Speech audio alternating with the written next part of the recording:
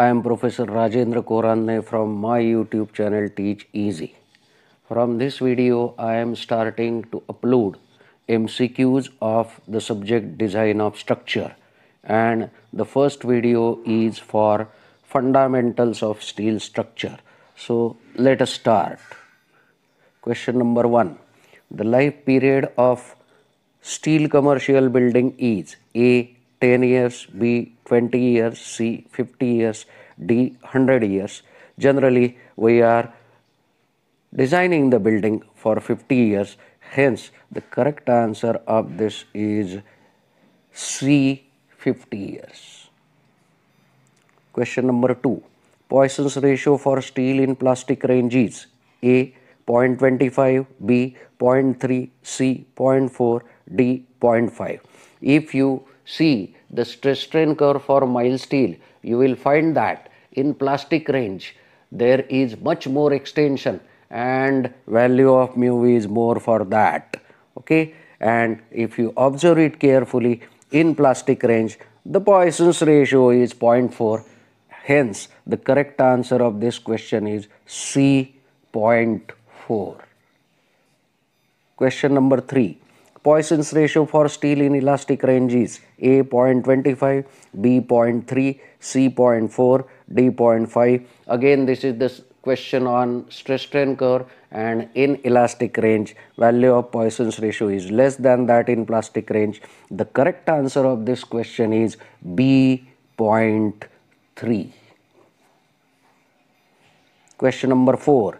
The structural advantage using steel as a structural material is A. Small weight to strength B. Speed of erection C. Speed of dismantling and D. Scrap value.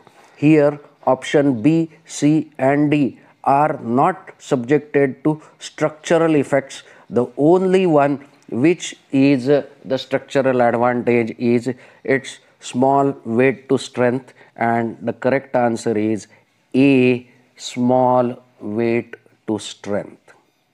Question number 5. The necking of steel section during tensile test takes place A. At yield stress B. In strain hardening range C.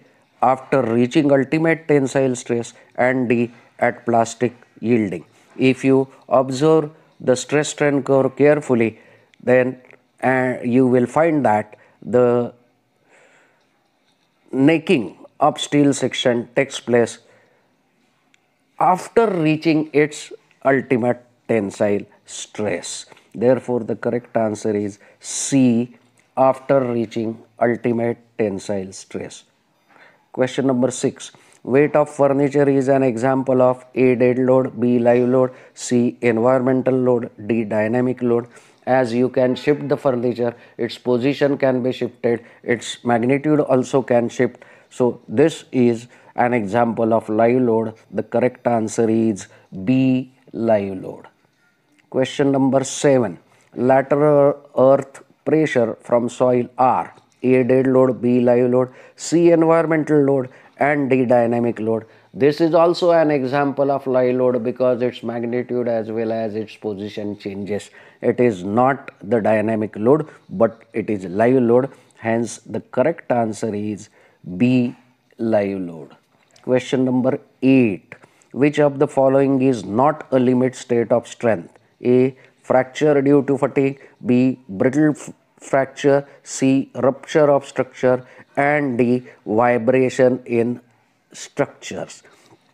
Now see the question carefully, not a limit state of strength. So A is limit state of strength, B is also for strength, C is also for strength, but D is for serviceability. Hence it is not a limit state of strength. Hence the correct answer is D vibration in structures. Question number 9 which of the following is a serviceability criteria?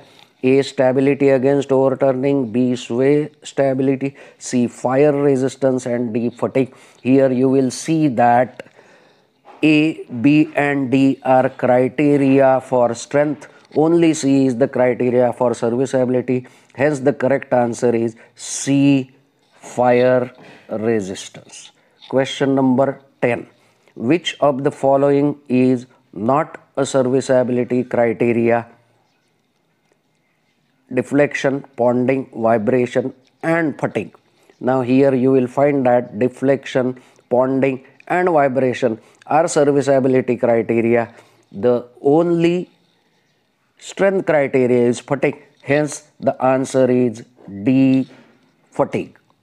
Question number 11 the partial factor of safety for materials governed by buckling is A 1, B 1.1, C 1.15, D 1.25.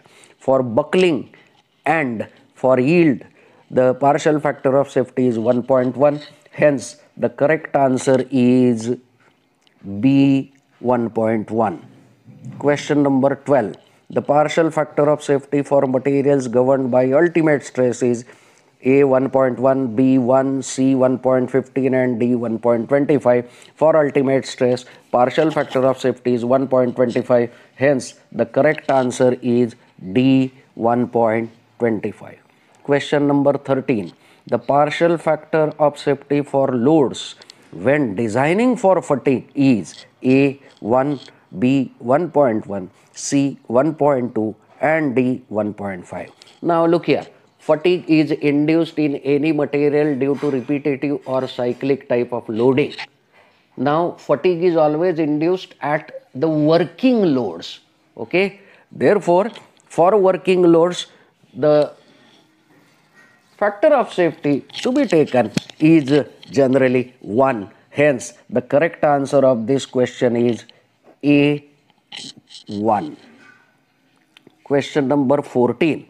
For checking the deflection of beams, the partial safety factors for dead load and live load would be A 1 1, B 1.8, C 1 1.2, D 1.2 1.5. Now, whenever the beam deflects, the deflection is taking place at working loads. Okay, so here also it may be dead load or live load, those are working loads. So, deflection is always checked for working loads and therefore the partial of safety will be definitely 1 and 1. Hence, the correct answer is A 1 1.